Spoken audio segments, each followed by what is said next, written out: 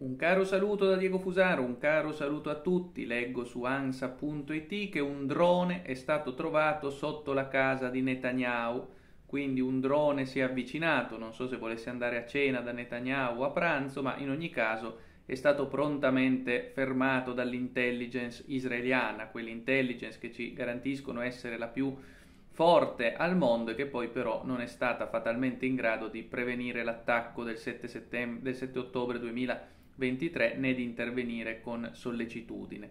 Ma lasciando questa vicenda da parte, che pure non è trascurabile comunque, eh, ragioniamo un attimo sulla vicenda di Netanyahu. Netanyahu ha detto che si tratta sicuramente di un drone inviato da, dall'Iran, quindi senza averne certezze abbiamo già il colpevole secondo Netanyahu. Sicuramente è colpa dell'Iran, del resto per eh, Netanyahu è sempre colpa dell'Iran, proprio come per la civiltà dell'hamburger è sempre colpa della Russia.